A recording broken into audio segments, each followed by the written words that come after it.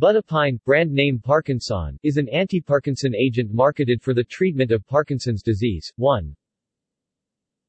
While its exact mechanism of action is not well characterized, it is believed to be an NMDA receptor antagonist, but also promoting the synthesis of dopamine. Because it provides additional benefits relative to existing treatments, it probably does not precisely mimic the mechanism of an existing known treatment.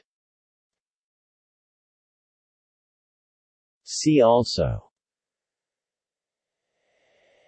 AD 1211 Delucemine Diphenidine. Ephenidine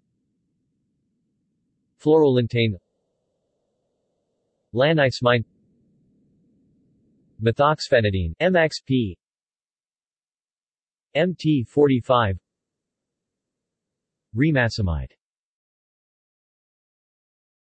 References